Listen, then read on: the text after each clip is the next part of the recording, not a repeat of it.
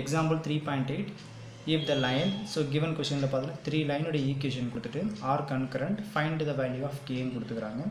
இந்த sum solve பண்ணுறதுக்கு முன்னாடி எக்ஸாம்பிள் த்ரீ பாயிண்ட் செவன் நம்ம ரீகால் பண்ணிக்கலாம். எக்ஸாம்பிள் த்ரீ பாயிண்ட் செவன் பார்த்தீங்கன்னா show that a given line கொடுத்துட்டு ஒரு த்ரீ லைன் கொடுத்துட்டு ஆர் கன்கரண்ட்டுன்றது நம்ம கொடுத்துருப்பாங்க. அதாவது நம்ம என்ன பண்ணுவோம்னா அதை நம்ம ப்ரூவ் பண்ணணும். கிவன் கொஷின் வந்து ஷோ தட்டாக இருக்கும். எக்ஸாம்பிள் த்ரீ பாயிண்ட் செவன் அப்போ என்ன பண்ணுவோம்? டிட்டர்மெண்ட் வேல்யூ ஜீரோன்னு கிடச்சிதுன்னா if the three lines are கன்கரண்ட்னு சொல்லி சம்மம் முடிச்சிருப்போம்.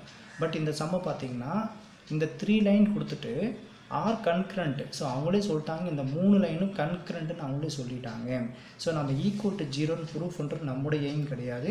கேவோட வேல்யூ கண்டுபிடிக்கிறது நம்முடைய எய்ம் அப்போ இந்த கேவோட வேல்யூ நம்ம கண்டுபிடிக்கணும்னா இங்கேயும் டிட்டர்மெண்ட் மெத்தடில் அப்ளை பண்ண போகிறோம் ஆனால் அப்ளை பண்ணுறப்ப என்ன பண்ணணும்? இந்த ஈக்குவல் டு ஜீரோன்னு எடுத்துக்கிட்டு கேவோட வேல்யூ கண்டுபிடிக்கட்டும். இதே எக்ஸாம்பிள் த்ரீ பாயிண்ட் செவனில் ஈக்குவல் ஜீரோ போட்டுறாதீங்க. ஏன்னா அந்த இடத்துல கொடுத்த லைன் வந்து கன்கரண்ட்டுன்னு ப்ரூஃப் பண்ணணும்னா ஈக்குவல் டு ஜீரோ எனக்கு வரணும். பட் இந்த சம்மில் அவங்களே கன்கரண்ட் சொன்னதுனால நாம் என்ன பண்ணோம் ஈக்குவல் டு ஜீரோன்னு எடுத்துக்கிட்டு இந்த இடத்துல கேவோட வேல்யூ கண்டுபிடிக்கணும். ஸோ ரெண்டுத்துக்கும் டிஃப்ரென்ஸ் பார்த்து படிங்க. அவ்வளோதான் மற்றபடி சேம் ஃபார்மெட்டு தான். இப்போ பாருங்கள் டிட்டர்மினன்ட் ப்ராக்கெட் என்ட்ரி பண்ணிடலாம். இதில் எக்ஸோட கோஷன் இருக்குது த்ரீயா ஸோ இந்த த்ரீன்னு என்ட்ரி பண்ணுங்கள் அதே மாதிரி இதில் ஒய்யோட coefficient minus five so determinant மெத்தடில் அப்ளை பண்ணுறப்போ எல்லாமே ஈக்குவல் டு ஜீரோ ஃபார்மெட்டில் தான் இருக்கணும். ஏன்னா கான்ஸ்டன்ட் எப்பவும் உள்ளே தான் இருக்கணும். பட் இதில் கான்ஸ்டன்ட் பார்த்தீங்கன்னா எதுவும் வெளியே வைக்கல. அண்டு இதெல்லாம் கான்ஸ்டன்ட் மைனஸ் லெவன் ஸோ இதில் மைனஸ் லெவன் என்ட்ரி பண்ணிடலாம். அடுத்தது செகண்ட் ரோ எடுத்துங்க. இதில் எக்ஸோட கோஷன்ட்டு ஃபைவ் அண்டு ஒய்யோட கோஷன்ட்டு பார்த்தீங்கன்னா த்ரீ அண்டு கான்ஸ்டன்ட் டேர்ம் பார்த்தீங்கன்னா மைனஸ் செவன் அடுத்தது இந்த இதில் எக்ஸோட கோவிஷன் இதில் எதுவுமே இல்லை ஒன்றுன்னு அர்த்தம். இதில் ஒன்றுன்னு என்ட்ரி பண்ணிடலாம்.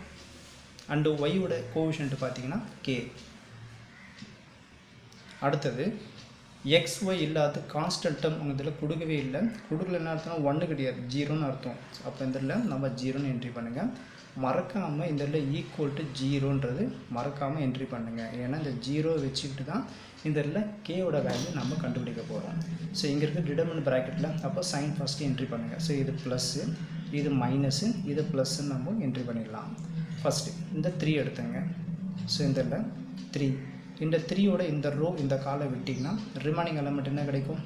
த்ரீ மைனஸ் செவன் கே ஜீரோன்னு என்ட்ரி பண்ணிடலாம்.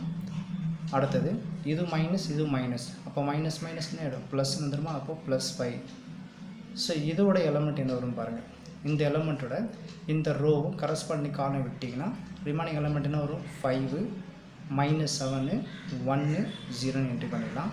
ப்ளஸ் இது minus plus into minus minus so minus eleven வந்துடும் இந்த எலமெண்ட்டோட இந்த ரோ இந்த காலம் விட்டிங்கன்னா இந்த two by two so element five three one k மறக்காமல் ஈக்குவல் டு ஜீரோன்னு என்ட்ரி பண்ணிடுங்க. இப்போ டிட்டர்மெண்ட் கண்டுபிடிக்கலாம். So three first mind element apply பண்ணுங்கள் so three into zero zero determinant apply பண்ணுற minus fixed minus seven into k minus seven k ஆல்டிங்கிற மைனஸ்க்கு தான் அப்போ ப்ளஸ் செவன் கேன்னு வந்துடுவோம் அடுத்து இந்த ப்ளஸ் ஃபைவ் என்ட்ரி பண்ணுங்கள் five into zero zero minus fixed determinant apply பண்ணுறப்போ one into minus seven minus seven அப்படிங்கிற மைனஸில் அப்போ ப்ளஸ் செவன் வந்துடும் இதெல்லாம் மைனஸ் செவன் என்ட்ரி பண்ணுங்கள் ஃபைவ் இன்ட்டு கே என்ன கிடைக்கும்? ஃபைவ் கேன்னு வரும். இங்கே minus fixed one into three த்ரீன்னு வந்துடும் இதில் ஈக்குவல் டு ஜீரோ இதை சிம்பிளிஃபை பண்ணுறப்போ நமக்கு கேவோட வேல்யூ கிடைக்கும். நெக்ஸ்ட்டு பார்த்தீங்கன்னா ஜீரோ ப்ளஸ் செவன் கே என்ன கிடைக்கும்? செவன் கேன்னு வரும். செவன் கே இன்ட்டு த்ரீ என்ன கிடைக்கும்? டுவெண்ட்டி ஒன் கேன்றது என்ட்ரி பண்ணிடலாம். அடுத்தது zero plus seven seven seven plus seven into five என்ன ஆகிடும் செவன் ஃபைவ் சார் நமக்கு தேர்ட்டி ஃபைவ்னு வந்துடும் இது நம்மளால் மைனஸ் பண்ணவே முடியாது. ஏன்னா மைனஸ் லெவன் மல்டிப்புள் இருக்குது. And five K minus three கேன்றது நமக்கு என்னென்னு தெரியாது.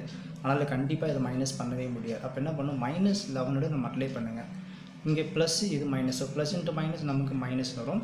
லெவன் ஃபைவ் சார் என்ன வரும்? நமக்கு ஃபிஃப்டி ஃபைவ் என்ன ஃபிஃப்டி ஃபைவ் ஃபிஃப்டி ஃபைவ் கேன்னு வந்து is a minus fifty five K minus minus plus eleven three seven ஆகிடும் தேர்ட்டி த்ரீன்னு வந்துடும் ஈக்குவல் டு ஜீரோ நம்மளோட எய்ம் எல்லாமே கேவோட வேல்யூ கண்டுபிடிக்கிறது தான் இப்போ பார்த்தீங்கன்னா கே டு கே கம்பேர் பண்ணுங்கள் கான்ஸ்டன்ட் கே இல்லாட்டமாக கம்பேர் பண்ணிக்கலாம்.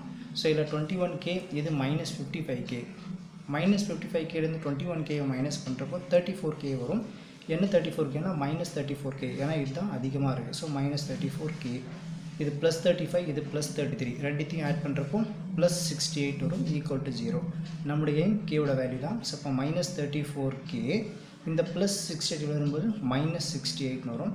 ஸோ நம்ம கேவோட வேல்யூ தேவைப்படல. அப்போ K is equal to minus sixty eight கேவோட value வேணும்னா இந்த multiple of minus thirty four equality வெளியே வரும்போது டிவைட் வந்துடும் ஸோ இதெல்லாம் மைனஸ் தேர்ட்டி ஃபோர் என்ட்ரி பண்ணுங்கள் அப்போ மைனஸ் மைனஸ் கேன்சல் ஆகிடும் இது டைரெக்டாக கேன்சல் பண்ணலாம்.